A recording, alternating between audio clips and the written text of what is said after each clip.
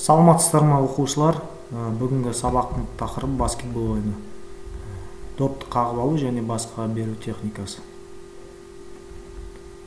Жалпы сабактын максаты биринчи бул билимдүүлүк максат допту кагып алууду жана баскыга берүү адистерин үйрөтүү допту жүргүзүүдө жетилдирүү экинчи бул дамытуучулук шапшаңдык жылдамдык сатыларын дамытуу үчүнчү тарбиялык максат сабактагы баардык жүктөмөнү дурус орундоо тартипке тартуу баскетбол тууралуу кыскача маалимат баскетбол агылшынча баскет себет бол доп деген маананы билдирет баскетбол оюну эптиликти кажет этетін кызуу тартыстуу спорттук оюн оған беш оюнчудан туратын эки команда катышат баскетбол алаңынын карама каршы эки четине орнотулган калканы бар тагандарға сакыйна бекитилет оюндун максаты допту каршылаштын сакыйнасына түсүрүп ұпай жиноо оюнчулар допты лактырууга пас жасоого домалатууга немесе жерге жиі уруп дриблингпен алып жүрүүнү болот топ өзүнө тийгенден кийин оюнчу ону менен тек эки адым гана аттай алат командадагы оюнчулар допты сакыйналуу торкалда себетке допты түсүрүү кажет какпа жерден кем дегенде үч метр беш сантиметр бийиктикте орнотулат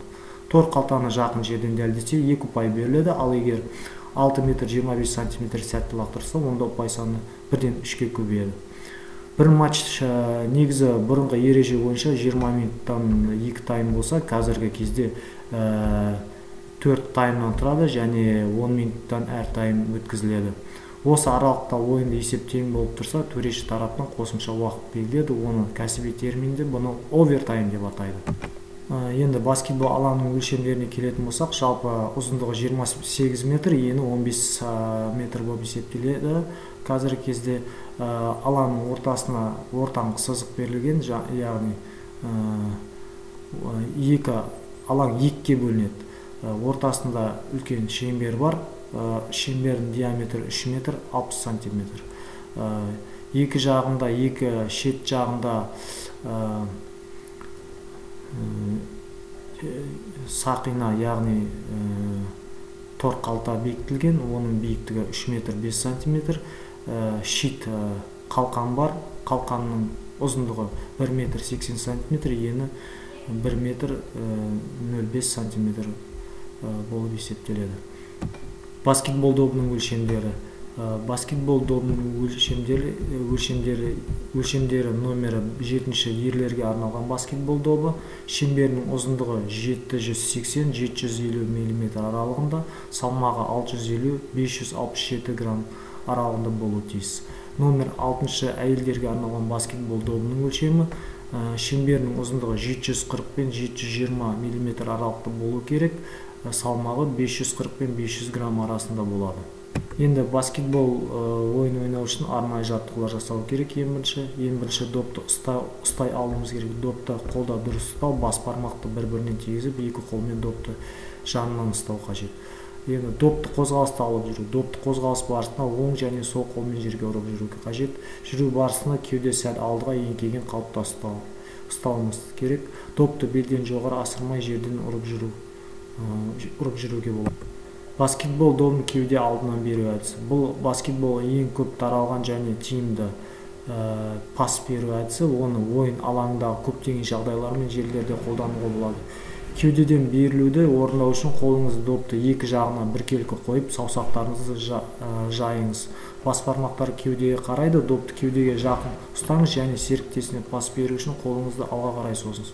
Осылайша ойын снарядын серіктеске қарай итеріңіз бұл жағдайлар алақандарды ашылып бір біріне сыртқы жағынан қарайды. Ал бас бармақтар төменге бағытталған. Баскетбол добын екі қолмен төменнен беру. Мұндай әдісті орындау үшін кеудеден өткен кездегі барлық әрекеттерді орындау керек.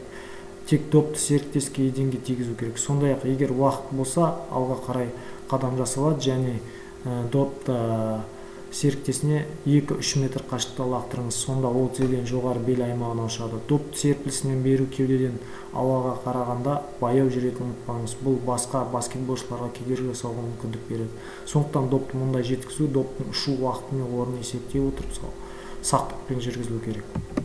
Баскетбол добын бастан асыра беру допты берудің бұл түрі ойыншы қиын жағдайда тап болған кезде қолданылады мұны істеу үшін саусақтарыңызды жайып доптың бүйірлеріне қолыңызды қою керек. Содан кейін доптың басын артына көтеріп қолдарыңызды түзетіп берілістің белгіленген орнына қалай қарай алға қадам жасап қолыңызды ойын снарядын босатыңыз.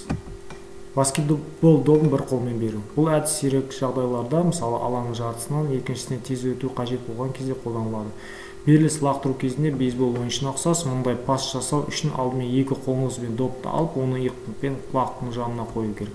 Содан кейін сіз бір қолыңызбен итеру қозғалысын жасайсыз қол доптың артына бүкіл ұзындыққа созылу керек. Ал соны жанасу саусақтардың ұшымен жасалады. Баскетбол добын артқы жағынан беру өткізудің бұл түрі көбінесе артқы жағына пас үлкен жылдамдықпен орындалады. Екі шабуылшы бір қорғаушыға шығады ал қарсылас доппен бірге болған адамға шабуыл жасағанда ол серіктеске ойын снарядын береді. Баскетбол добын екі қолмен ұстау. Допты екі қолмен ұстау кезінде қолды алға созып алақанды ұшып келе жатқан допқа қарсы бағыттау керек. Кеуде алға қарай аздап еңкейген қалыпта болады. Доп қолға тиген сәтте шынтақ жеңіл бүгіледі жоғары ұшып келе жатқан допты ұстау. Бұл екі қолмен допты қабылдау секілді әдіс. Жоғары ұшатын допты секіріп ұстау керек мұны істеу үшін сіз еденнен қатты итеріліп секіруіңіз керек. Ұшу жылдамдығын жеңілдету үшін тепе теңдік сақтау үшін шынтағыңызды бүгу керек. Доп саусақтарға тиген кезде оның бүйірлерін алақанмен ұстап содан кейін қолдарын төмен түсіріп допты кеудеге тарту керек. Баскетбол пасын орындауға арналған он кеңес. Бірінші допты өткізетін ойыншыға бір кішкентай қадам жасаңыз бұл дәлдікті арттырады. Екінші ұстап қал, алмау үшін басқа берудің қорғанысынан мүмкіндікше алыс өтіңіз. Үшінші ыңғайлы қабылдау үшін допты белден жоғары және иығыңыздан төмен серіктеске жеткізіңіз. Төртінші допты берудің соңғы сәтінде ол алақанмен емес саусақтарының тайып тұрғанына көз жеткізіңіз.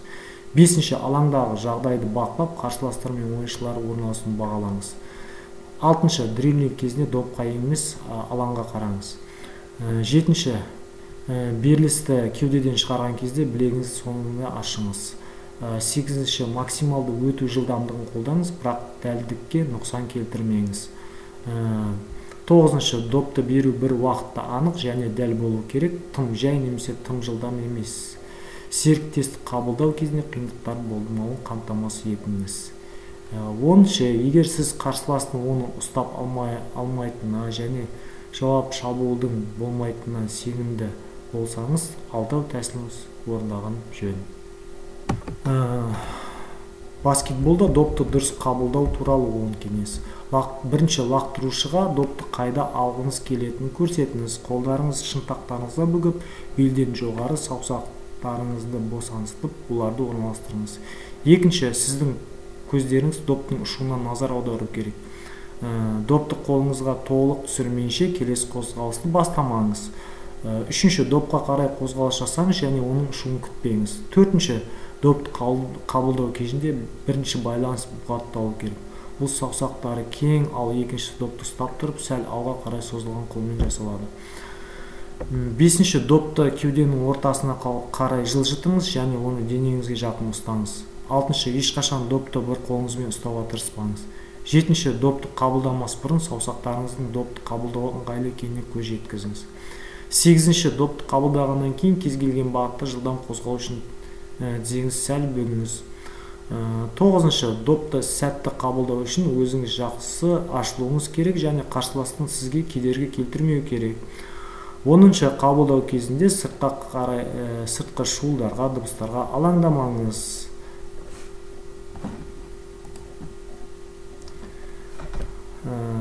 Студенттер тыңдағандарыңызға ә, рахмет. Сау болыңыздар.